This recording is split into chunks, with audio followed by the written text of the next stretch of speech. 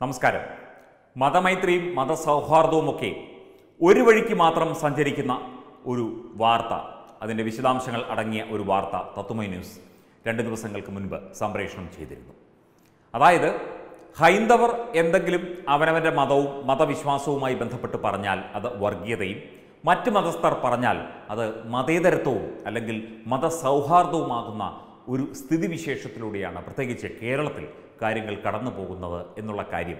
പല ഭാഗങ്ങളിൽ നിന്ന് സമൂഹ മാധ്യമങ്ങളിലൂടെ അതുപോലെ പല സമൂഹത്തിന്റെ പല തട്ടുകളിൽ നിന്ന് ഇതുമായി ബന്ധപ്പെട്ട് ഒരുപാട് ഉദാഹരണങ്ങൾ നമുക്ക് കാണാൻ സാധിക്കും. പക്ഷേ ഇതിനെയൊന്നും വിമർശിക്കാൻ പാടില്ല. വിമർശിച്ചാൽ മതേതരത്വം തകർക്കലാകും അല്ലെങ്കിൽ മതമൈത്രി ഇല്ലാതാക്കലാകും എന്നുള്ളതാണ് പറഞ്ഞു വരുന്നത്. ഈ വർഗീയം എന്ന് പറയുന്ന ഈ ഒരു വാക്കിന്റെ അർത്ഥം. ഇപ്പോൾ വർഗീയം എന്ന് പറയുന്നത് ശബ്ദതാരാവലിൽ നോക്കിക്കഴിഞ്ഞാൽ വിവിധ അർത്ഥങ്ങൾ അതിനെ കൽപ്പിച്ചു കാണുന്നു. പക്ഷേ ഇതിവിടെ പ്രയോഗിക്കുന്നത് ഇത് ഭിന്നിപ്പിക്കൽ അതായത് ഹൈന്ദവ സമൂഹത്തെയും സമുദായങ്ങളെയും ഒക്കെ ഭിന്നിപ്പിക്കാനും മറ്റ് മതങ്ങൾക്കും മറ്റ് മതവിഭാഗങ്ങൾക്കും കൂടുതൽ പ്രാധാന്യം സമൂഹത്തിൽ നേടിയെടുക്കാനുമുള്ള ചില താല്പര്യക്കാരുടെ ഒരു ഗൂഢശ്രമത്തിന്റെ ഫലമായി വേണമെങ്കിൽ ഇതിനെ ചൂണ്ടിക്കാട്ടാം. ആ രീതിയിലാണ് കാര്യങ്ങൾ വരുന്നത്. നല്ല മതസൗഹാർദ്ദവും സ്നേഹവും ഒക്കെയുള്ള സമുദായ സാമുദായിക സംഘടനകളും വ്യക്തികളും സമൂഹവും ഒക്കെയുണ്ട്. പക്ഷേ ഇതിനിടയിൽ കുത്തിത്തിരിപ്പുണ്ടാക്കി അവരുടേതായ ലാഭമുണ്ടാക്കാനും അത് ഏത് തരത്തിലായാലും ലാഭമുണ്ടാക്കാനും സർക്കാരാണെങ്കിൽ അല്ലെങ്കിൽ രാഷ്ട്രീയക്കാരാണെങ്കിൽ അതിലൂടെ ഒരു വോട്ട് ബാങ്ക് രാഷ്ട്രീയം കളിക്കാനുമുള്ള ഗൂഢശ്രമങ്ങൾ അല്ലെങ്കിൽ അത് മനഃപൂർവം കളിക്കുന്ന ഒരു കളിയായിട്ട് വേണമെങ്കിൽ ഇതിനെ ചിത്രീകരിക്കാൻ സാധിക്കും എന്ന് പറയപ്പെടുന്നു. നമ്മൾ ആടിനെ പട്ടിയാക്കിയ കഥ എല്ലാവർക്കും അറിയാമായിരിക്കും. എന്നാൽ പോലും ഈ വർഗീയം അല്ലെങ്കിൽ ഈ മതപ്രീണനം മതസൗഹാർദ്ദം ഇങ്ങനെയുള്ള വാക്കുകളൊക്കെ കടന്നു വരുന്നത് അത് ഒന്ന് വിലയിരുത്തി നോക്കിയാൽ നമുക്ക് നോക്കാം. ഒരു സുഹൃത്ത് അദ്ദേഹം ഒരു ഫേസ്ബുക്ക് പോസ്റ്റ് ഇട്ടതാണ്. സുഹൃത്തിന്റെ പേരും വിവരങ്ങളും ഒന്നും പറയുന്നില്ല. കമ്മ്യൂണൽ അഥവാ വർഗീയം എന്ന വാക്ക് ഹൈന്ദവ സമുദായത്തെ അതായത് ഇവിടെയുള്ള ഭൂരിപക്ഷ സമുദായത്തെ അപായപ്പെടുത്താൻ ബ്രിട്ടീഷുകാർ ബോധപൂർവം പ്രയോഗിച്ചതാണ് എന്നുള്ള ഒരു വാദമാണ് ഉണ്ടാകുന്നത്. പ്രത്യേകിച്ച് ഹിന്ദു രാഷ്ട്രം ഹിന്ദു സംഘടന എന്നിവ വർഗീയമായി വിശേഷിപ്പിക്കപ്പെടുന്നു. ഉയർന്ന സ്ഥാനങ്ങളിൽ ഇരുന്നു കൊണ്ട് ഇത് പ്രചരിപ്പിക്കുമ്പോൾ അത് ജനമനസ്സിൽ പെട്ടെന്ന് സ്ഥാനം പിടിക്കുകയും ചെയ്യുന്നു. സമൂഹത്തിലെ ഉയർന്ന തട്ടിൽ ഇരുന്നു കൊണ്ട് പ്രത്യേകിച്ചും ഭരണ സംവിധാനങ്ങളിൽ ഒക്കെ ഇരിക്കുന്നവരെ ഇത് പറയുമ്പോൾ കൂടുതൽ ഈ ഒരു വർഗീയത എന്ന് പറയുന്നത് ഇത് ഹിന്ദുക്കൾ അല്ലെങ്കിൽ ഹൈന്ദവ സമൂഹം പ്രചരിപ്പിക്കുന്ന ഒരു കാര്യമാണ് എന്ന് പറഞ്ഞ് ഒരു തെറ്റിദ്ധാരണ പരത്താൻ പലപ്പോഴും കഴിയുന്നുണ്ട് എന്നുള്ളതാണ് വാസ്തവം.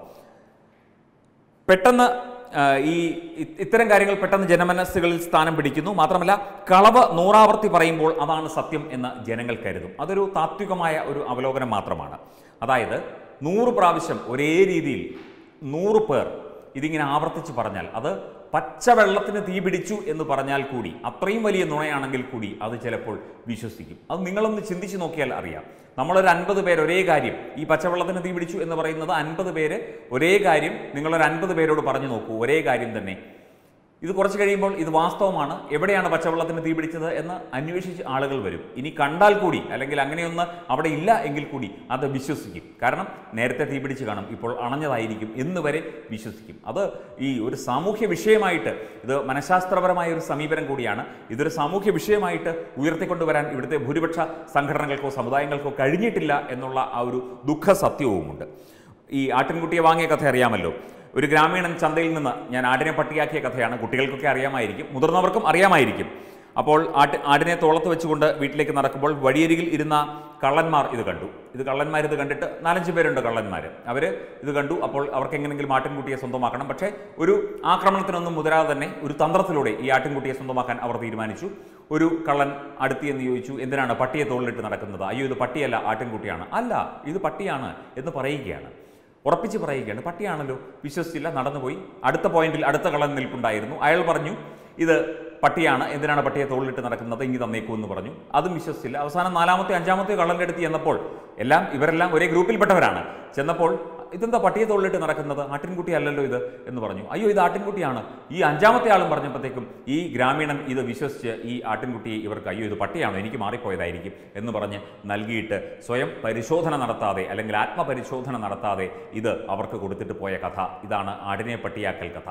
ഇതൊക്കെ ഓർക്കുമ്പോൾ ഇത് മനഃപൂർവം ചില കാര്യങ്ങൾ ഇവിടെ ഇത്തരത്തിൽ ഭൂരിപക്ഷ സമുദായത്തിനെതിരെ ഒരു വികാരമുണർത്തുന്നതിനായി ഒരു സംഘടിത ശ്രമം ഇവിടെ നടക്കുന്നുണ്ട് എന്ന് ഭൂരിപക്ഷ സമുദായക്കാർ മനസ്സിലാക്കണം. കുറച്ചൊക്കെ മനസ്സിലാക്കി വരുന്നുണ്ട്. പക്ഷേ കാര്യമായി മനസ്സിലാക്കി വരുന്നില്ല. അതിനനുസ അതിനനുസരിച്ച് ജീവിത രീതികളിലും പ്രവൃത്തികളിലും ഒക്കെ നീങ്ങുന്നില്ല എന്നുള്ളത് വളരെ കാര്യമായി തന്നെ കാണേണ്ട വിഷയമാണ്. എന്തു തന്നെയായാലും ആടിനെ പട്ടിയാക്കാൻ ഒരു തരത്തിലും അനുവദിക്കാൻ പാടുള്ളതല്ല. അതൊരു സാമൂഹ്യ വ്യവസ്ഥിതിയെ തന്നെ ചോദ്യം ചെയ്യുന്ന ഒരു കാര്യമാണ്. ഒരിക്കലും അത് അനുവദിക്കാനും പാടുള്ളതല്ല. മറ്റുള്ളവർക്ക് കയറി കയറി കയറിയിരുന്ന് കൊട്ടാനുള്ള ചെണ്ടയല്ല ഭൂരിപക്ഷ സമൂഹം സമുദായം എന്നുള്ള കാര്യം മനസ്സിലാക്കി കൊടുക്കേണ്ടതാണ്. മണ്ടന്മാരായി താഴേക്ക് താഴേക്കിടയിലേക്ക് ഇറങ്ങി വരേണ്ടവരല്ല.